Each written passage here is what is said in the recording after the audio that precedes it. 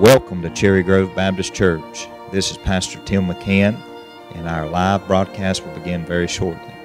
Thanks for watching today, and we pray that you'll be blessed by the praiseful singing and benefited by the scriptural preaching of God's Word. Cherry Grove Baptist Church is located in the northwestern section of North Carolina. If you're ever in our area, we certainly would love to have you come visit with us.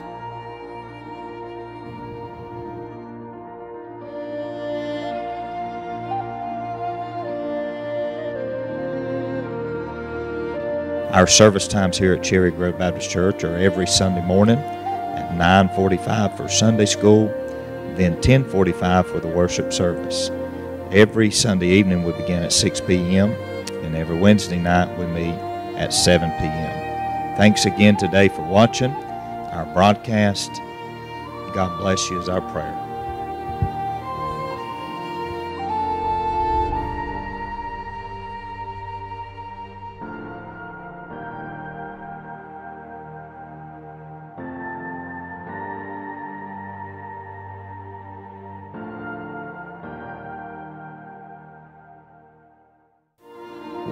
Cherry Grove Baptist Church. This is Pastor Tim McCann, and our live broadcast will begin very shortly. Thanks for watching today. All right, if you got your psalm book, turn to 346 in the red book. 346, and we will sing, I know my name is there. Do you know your name's there this morning? Amen. I'm glad you do. 346. Appreciate you for being here this morning.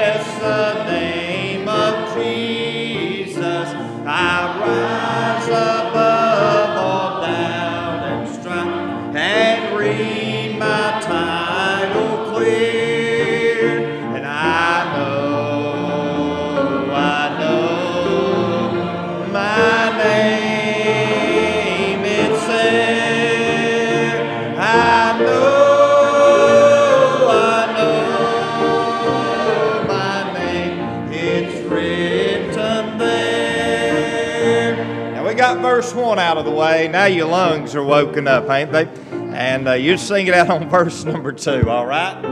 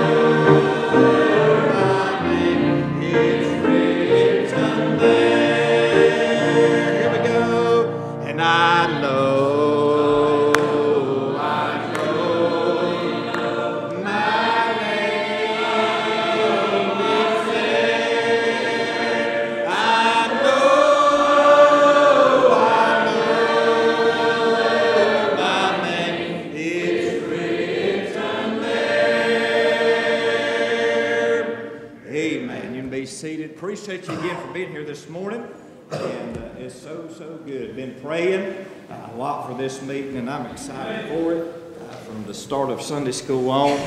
And, uh, and so you pray for Brother Beckham as he comes this morning and starts us out in Sunday school, and then we'll take a break here in a little bit. And uh, you can go smoke a cigarette and all that good stuff.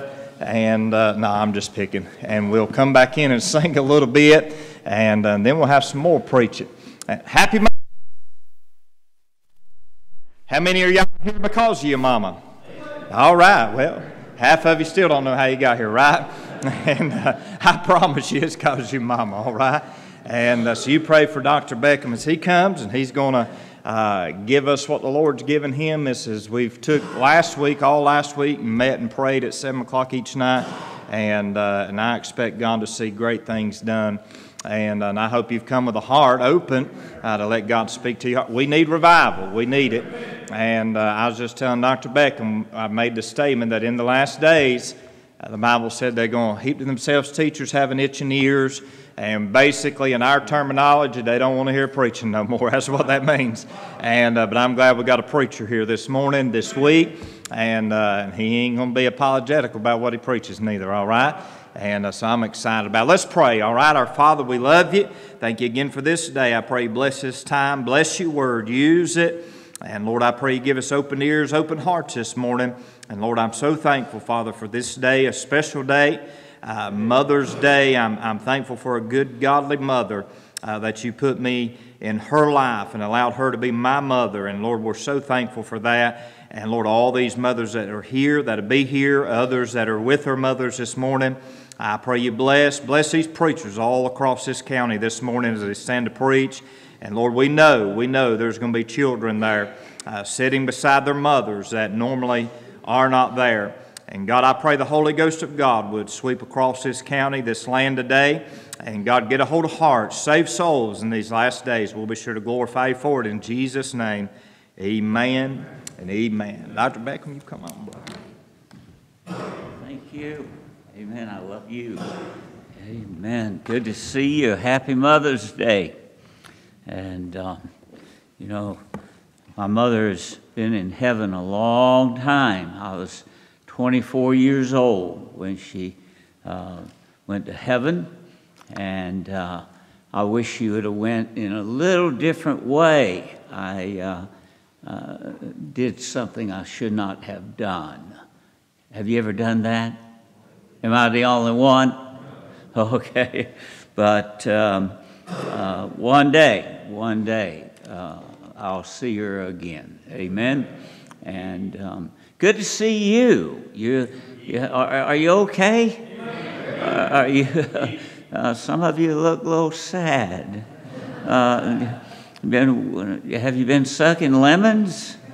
Uh, are you okay? Really? Are you okay? All right. You know.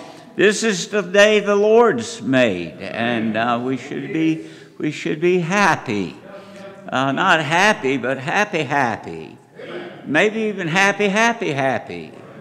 Are you happy, happy, happy? Amen. I hope you are. Well, I know Mother's Day. You know, I've been preaching now 55 years, and that's been quite a quite a journey. You know, I I really enjoy preaching. I hope you enjoy listening. Amen. And uh, but God, God has really, really been been good to this preacher down through the years, and um, uh, you know, prayer prayer has been a wonderful thing uh, to me for the last 21 years. Uh, I have made it a priority in my life, and uh, I used to say it was a priority in my life for many years, but I just played around, you know, just just played around. Uh, I thought I was spiritual because I was busy, And uh, you can be busy and not spiritual. And a lot of people mistakes being, being spiritual from being busy. But uh, I was a busy man. I, you know, uh, even as a young preacher, I, I was very, very busy. But I wasn't spiritual, and I wasn't spiritual because I didn't have a prayer closet, and I, I didn't walk with the Lord, and I didn't walk in the consciousness of the Lord. But as a young preacher, I, uh, on Mother's Day, Christmas, Easter, all those Sundays, I never, I was never one to preach a a Christmas message just because it was Christmas. Uh, you know, our uh, a Thanksgiving message just because it was Thanksgiving, or a Mother's Day message just because it's Mother's Day. Every day should be Mother's Day. Every day should be, we should think about Christ and His birth and all that. And every day should, should be a thankful day so I never got into that. You know, I just, uh, I just uh, uh, preach whatever the Lord told me to. Amen. And I think we we are better off that way anyway, aren't we? Well, turn with me to Matthew six, Matthew chapter six. I sure hope that you have a relationship with the Lord, and you have heard you have heard me say that uh, down through the years that I've been coming here. Um, uh, I, am glad the preacher said I, am not going to be apologizing for anything because you can't apologize for something God said. And, and, and, you know, that's what I try to do anymore. I just try to say what He says. I can't go wrong there, can we? Mm-mm. Now, people in America doesn't want to hear what God wants to say, and but um, but I feel like I'm in in good company this morning. Amen. And I feel like you all love the Word of God and and uh, you love the doctrine of prayer. And I, uh, the prayer room was fairly full this morning, and uh, uh that just excites me to walk into a prayer room that's almost full. Amen. And uh, and I know it could have been uh, we we had some more seats in there, but uh, it was it was good to hear to hear the men pray this morning. And brother, thank you for heading that up. Uh, now Matthew chapter six, and I want you to pray. Some of you asked me about my foot. It's still on there, still on my body, and uh, it still hurts at times. And uh, so uh, still have to use the cane, not every day, but uh, from time to time. And I, I think it's getting better because Cherry Grove's praying for me. Amen. And uh, I sure hope you are. I, I feel like you are. And, uh, and all the pats and all the hugs uh, sure makes me feel good to be here. Matthew chapter 6. Uh, I want to talk to you for a little while on uh, what time, how much time do I have, preacher? 1045. All right. That's a lot of time. Amen. Uh, Matthew chapter 6. Uh, have you ever heard of the term closet prayer?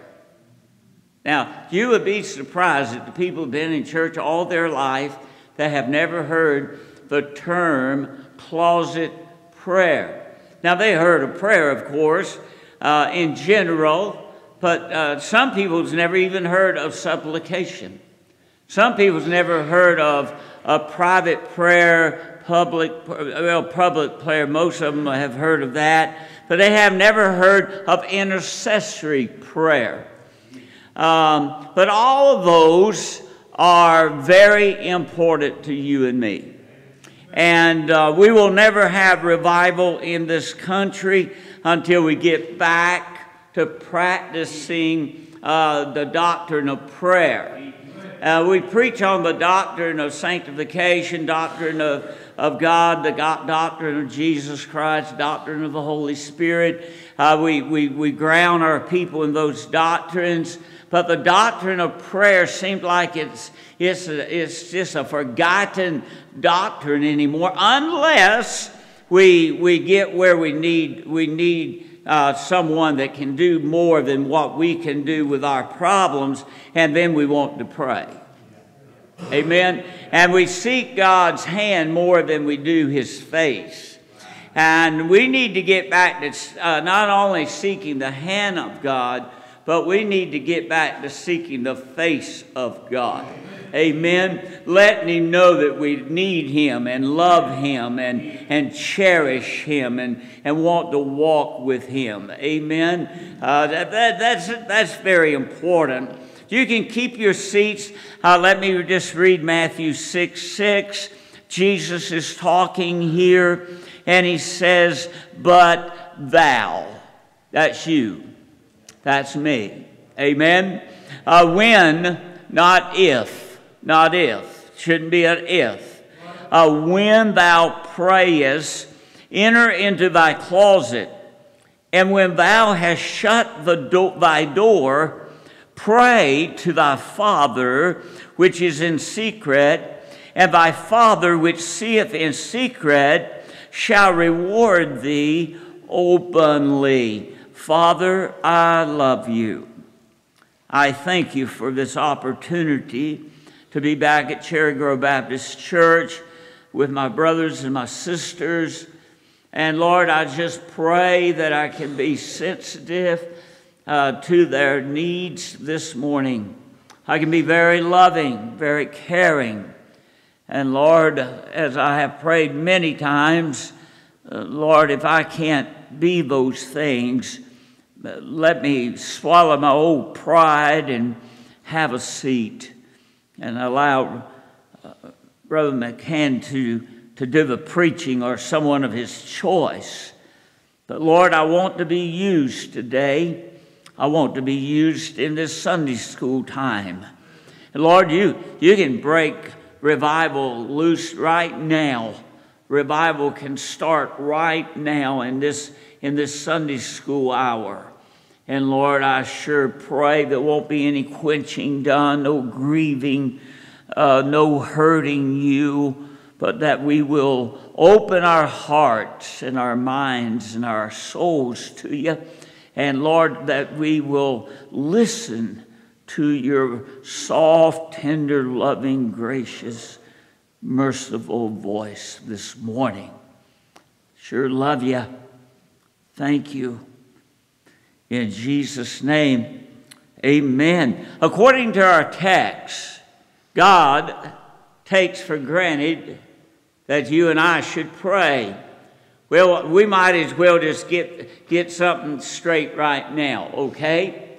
Uh, let me ask you this. Let me just go ahead and kill the service, okay?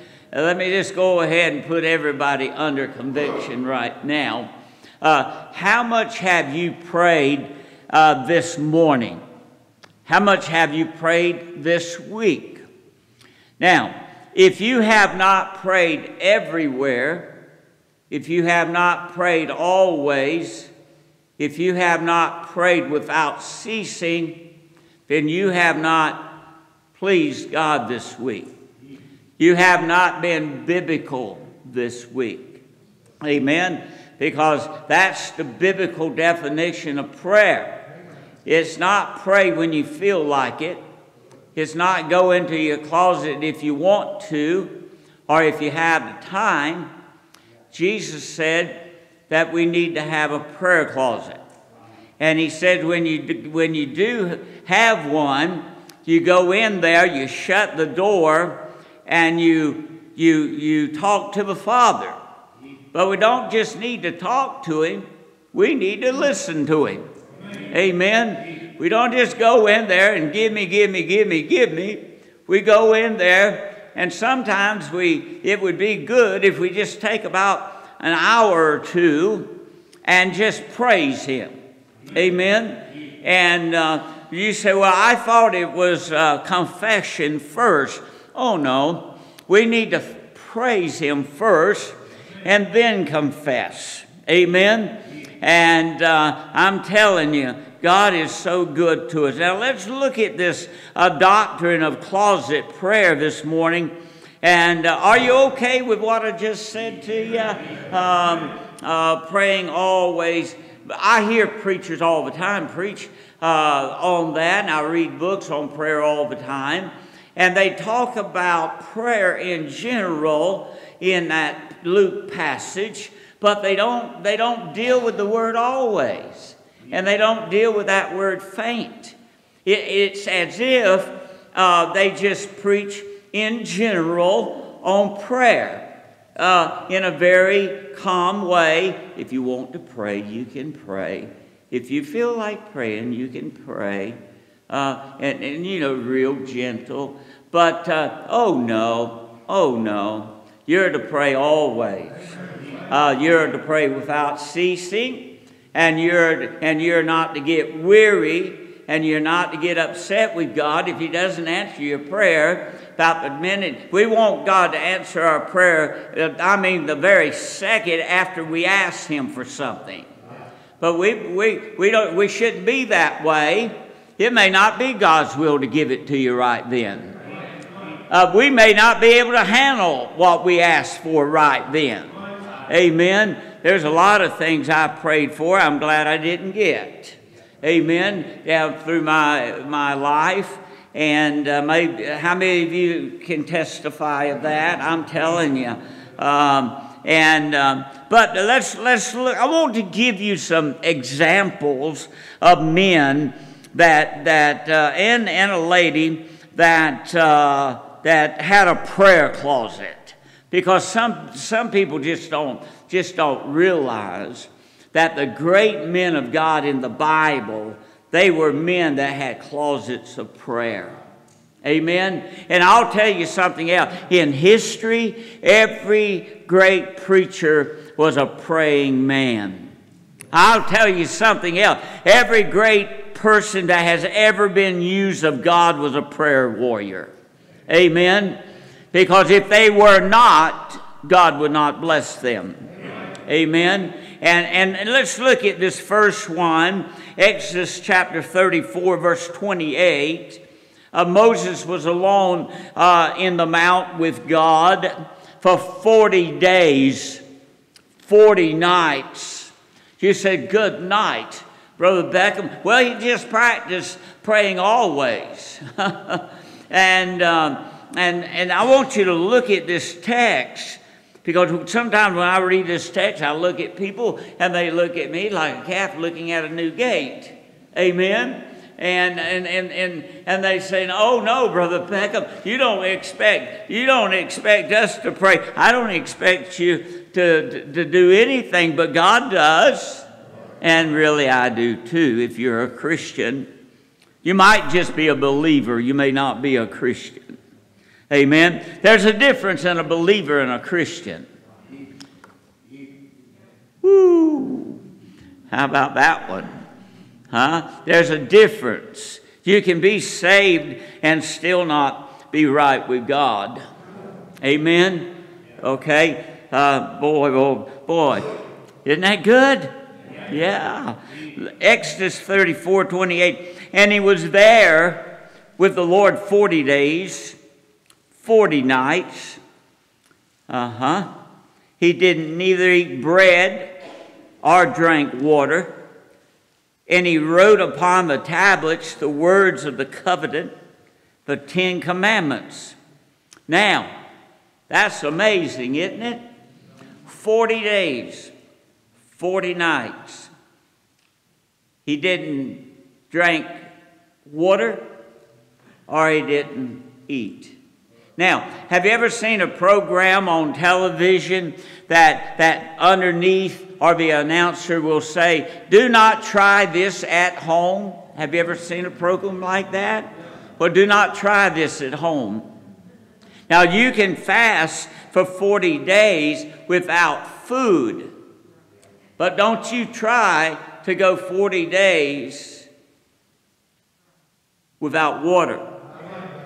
Now, that I have always heard all my life that if you go seven days without water, you'll die.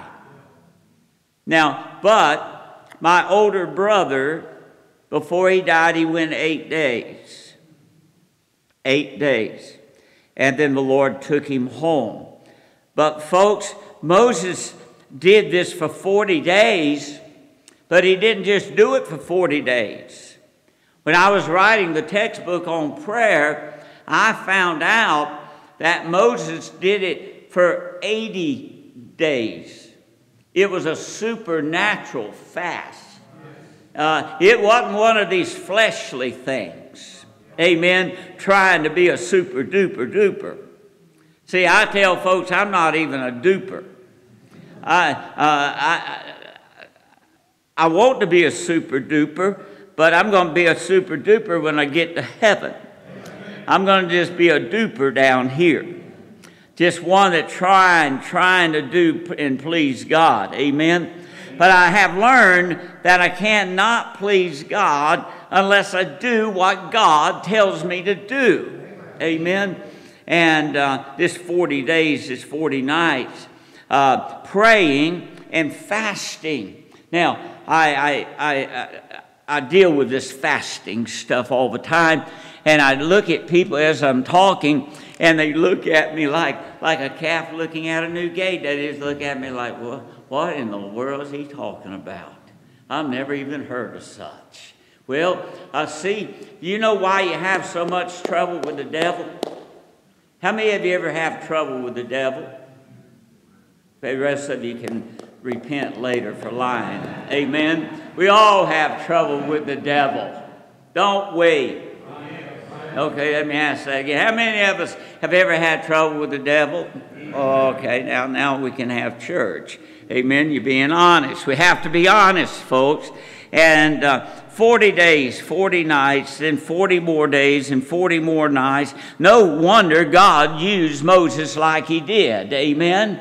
Yeah, he told the apostle this fasting thing. Let me get back to that um, since we're dealing with Moses here. Uh, Jesus told the disciples, uh, he said, See that kind right there? Talk about a bunch of demons. Yeah, Brother Beckham believes in demons. I believe in the devil. I believe in spiritual warfare. Yeah, I'm one of those narrow-minded preachers that believes the Word of God. Amen. And uh, some of my brethren don't believe it, and, and they, they, they can be wrong if they want to be. Amen.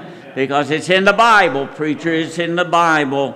Uh, and on the way to get victory, and see, Moses had a task to do. He had to lead uh, over a million people out of Egypt. Amen. Uh, let me tell you, he had a task to do, and uh, he knew that, that the devil was going to fight him, Pharaoh was going to fight him, everybody, and even the people he was leading out of Egypt was going to fight him. He knew that. So, you know what he did? He put a little bit of uh, fasting in there that put a little bit of power to his prayers. Amen. You want to be powerful in your prayer life? Mix fasting. Jesus says, See that kind right there, guys? And they looked and saw that kind. He said, The only way you're going to get victory over that kind is through prayer and fasting. Amen. It may be, you say, well, I, I, I, this week, Brother Beckham, been rough. Have, have you, and this coming week, don't, do you want another rough week? No. So add a little bit of fasting to your prayer life. And let's see what happens. And then, so Moses, Moses uh, had his prayer closet. And then I want you to notice Abraham prayed along to God about Sodom's sin and destruction in Genesis 18 22, 30 to verse 32. And then in Genesis 21 and verse 33, we see Abraham uh, in his prayer closet. Now, he was in there as an intercessor uh, praying for the sins of Sodom. People, people in America, I hear every week of my life people say, Boy, I wish America, uh, I wish America would return back to God. Have you asked, have you asked God to uh, convict America? Have you asked God to help America? Ha, huh? Have you? Uh, if you haven't, then you can't expect God to, uh, to answer that for you. Amen? Hello? Okay. Uh, Genesis 21, Abraham, a great man of God, a great intercessor. Um, he planted a grove in verse 33 of Genesis 21. I hope you're following along with me. And Abraham planted a grove in Beersheba and called there on the name of the Lord, the everlasting God. You know, he had a little prayer. He had a, a, a closet, but it was in a little garden. Someone said, uh, Can I have a prayer closet? You can have one anywhere you want. If you like flowers, just go out in your little flower garden and sit down and pray to God. Amen. Uh, Moses was on the mountain. There's a lot of mountains around here. Amen. Uh, find you a mountain. Find you a rock up on top of the mountain. Go to that rock. Sit down, lay down, whatever you want to do, and pray. Amen. It, it, it's everywhere. That's what I'm trying to show you. It could be anywhere. A closet can be anywhere.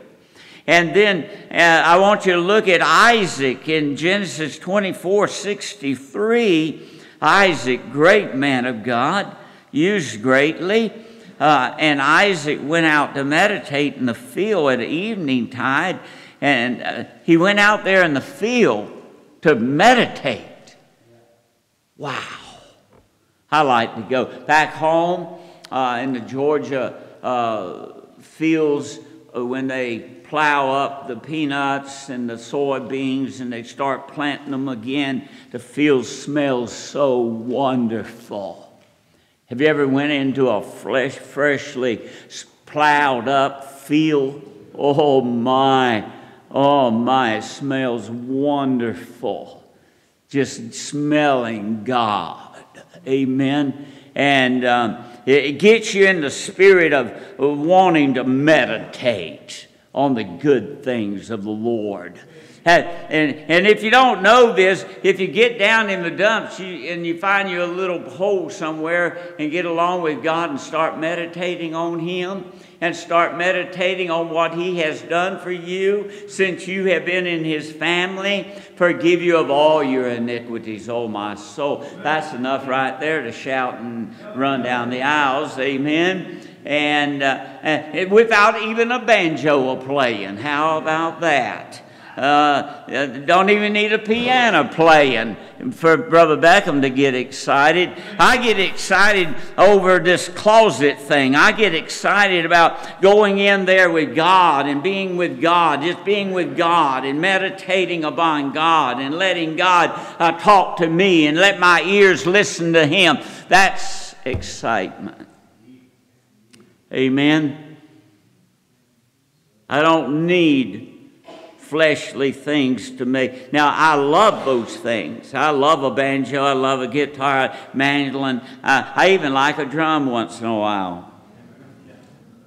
Whoa. Hmm. Do you? Do you like that? Yeah, yeah, I do once in a while. Amen. Unless they go crazy, but, but you know, just keeping the, yeah, I like it. And, and then look in Genesis 20, 30, 32, verse 24. Are you okay? Everybody okay? All right. Genesis 32, verse 24 down to verse 28. You find Jacob. I don't know about you, but I like Jacob. I like all these men. But Jacob, Jacob, is an amazing man to me. And Jacob was left alone. You know, I find this quite often in these uh, verses uh, alone with God. Alone. Alone with God. I like that. It would help us to leave our burdens out of the closet. Just getting there alone with God. Amen.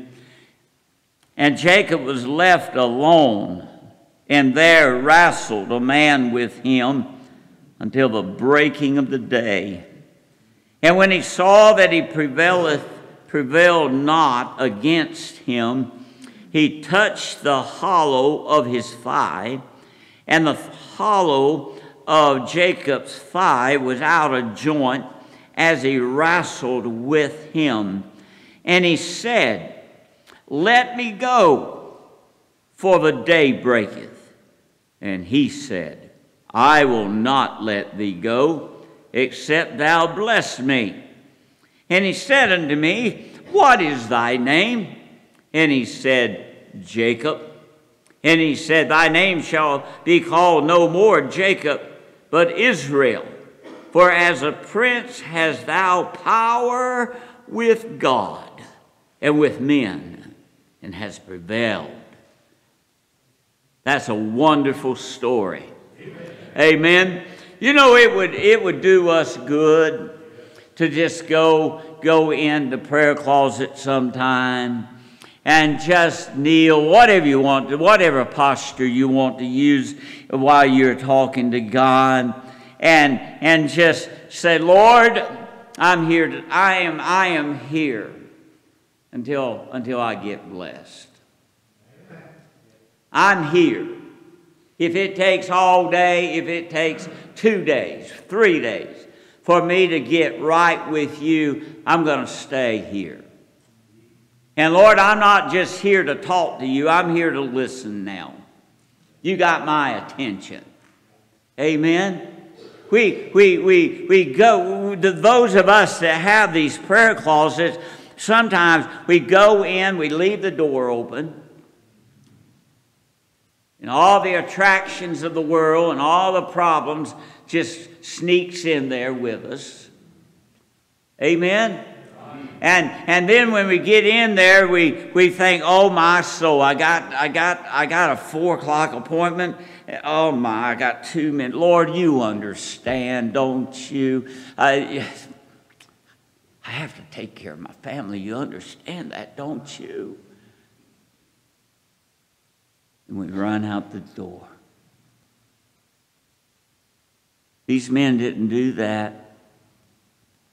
Prayer, walking with God, serving God was a serious thing with Moses and Abraham and Isaac and Jacob. And now, let me ask you is it serious with you?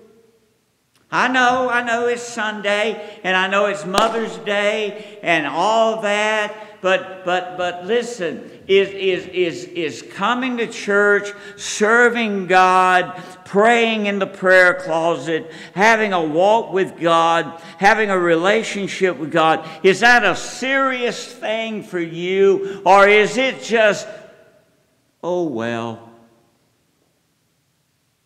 Now listen, is if revival is going to come to America, it's going to come through the local church. God uses the local church.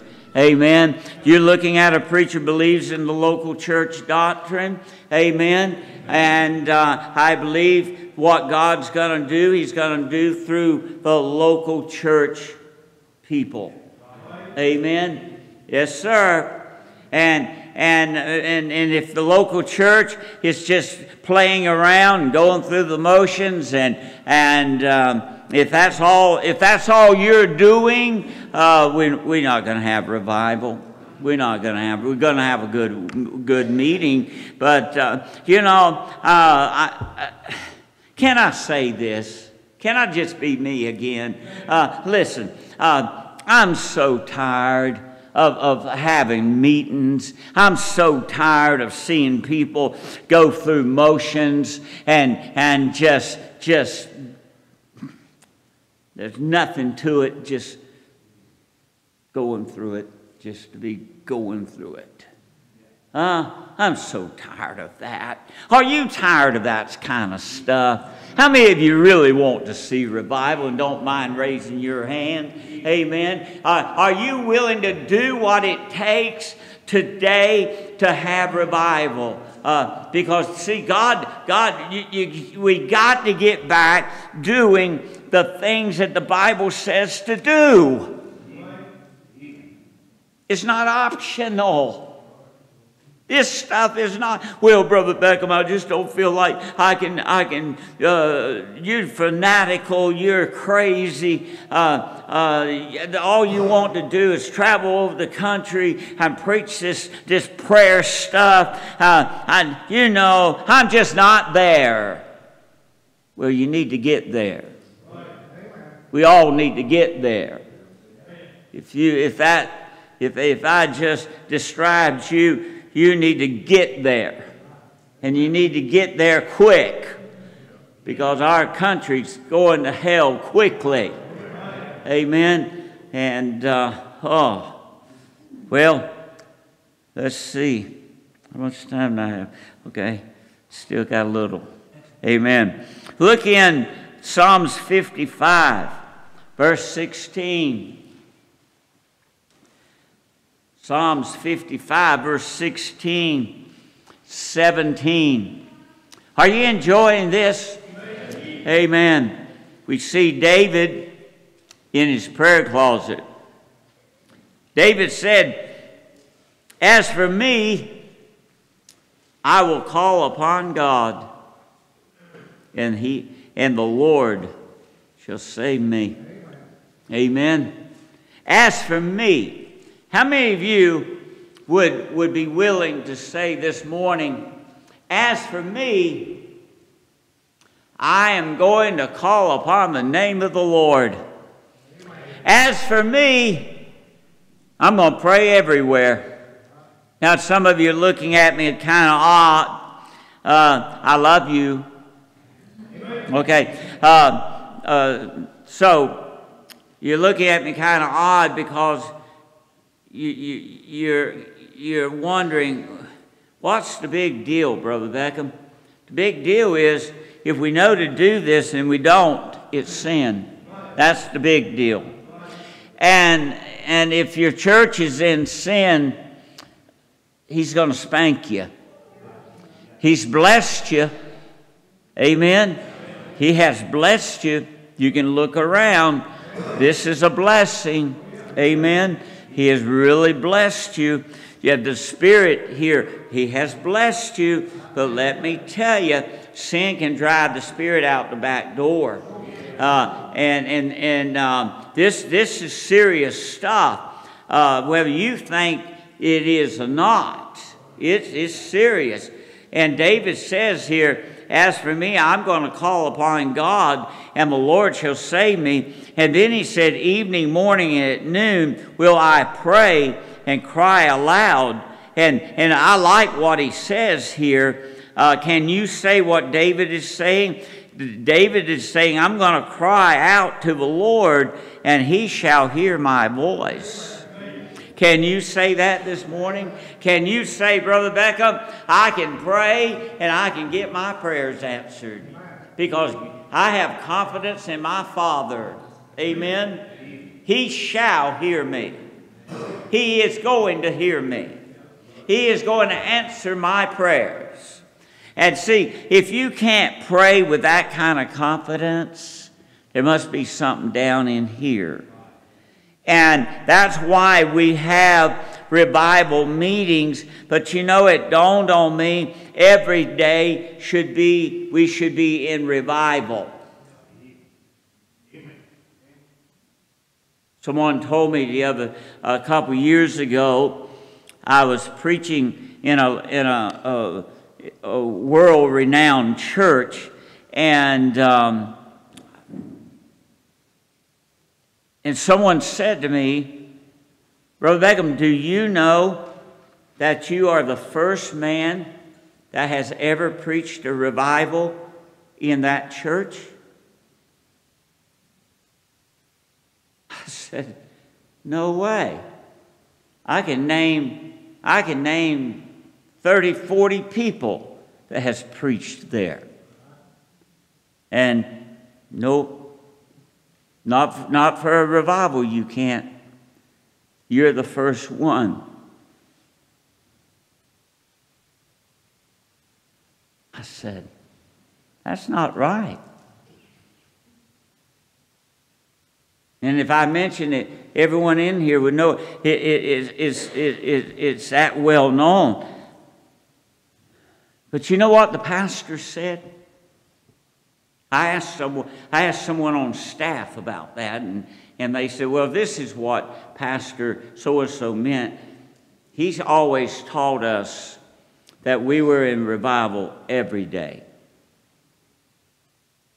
because we had a vision for the mission field. We won thousands of people to the Lord per week. Um, our Sunday services were packed. People were being saved, baptized every Sunday for years. That's what Pastor so and so meant when he said, We don't need an evangelist to come in to preach a meeting uh, that we will call revival because we are in this church is in revival all the time. I thought, wow. If that's so, that's wonderful. Amen? Yeah. I, wouldn't that be good that you could say that, that, that you're having revival every day? Every day? Cherry Grove Baptist Church is, is in revival, calling one another. We just won one, one more to the Lord. So and so just got right with God. Amen. That will bring worldwide revival. When churches, not just pastors, not just deacons, not just the, the elite of the elite in the church, but every member on the pews, on the church roll, everybody has a closet they go into on a daily basis. They stay clean. They say they stay sanctified, mortified. They stay dead to the world, and they are used of God every day. That would bring revival. Oh boy, I get excited even thinking about that. Amen. And uh, I, I, have seen touches of that uh, in the last 21 years seven weeks here, nine weeks there, six weeks, and all this stuff. But um, um, that's still not what we need. We need daily revival. And the way you can have that is to have your prayer closet.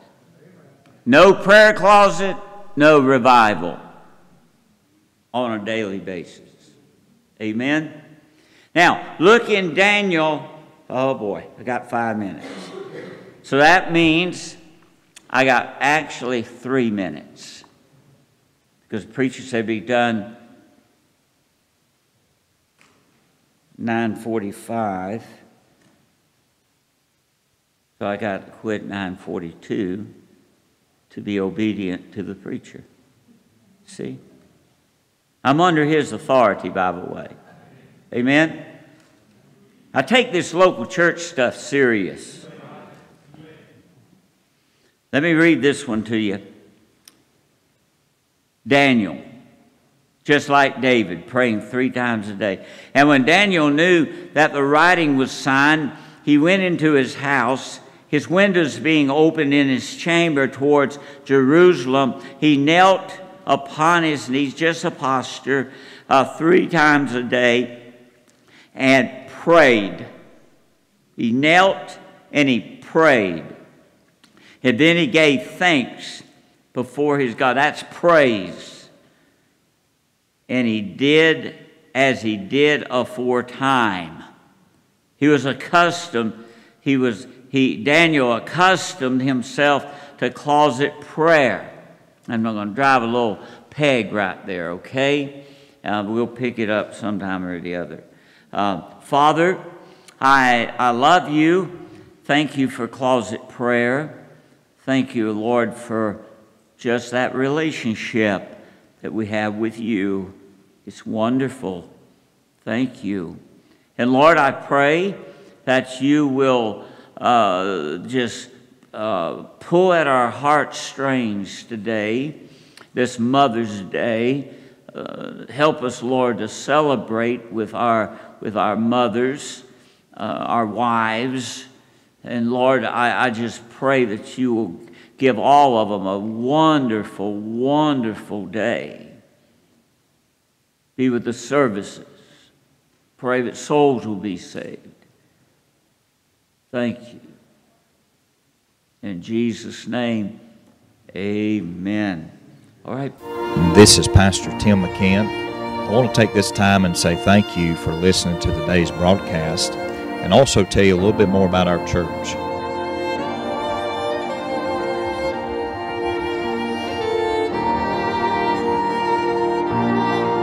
Our service times here at Cherry Grove Baptist Church are every Sunday morning at 9:45 for Sunday school and then 10:45 for the worship service.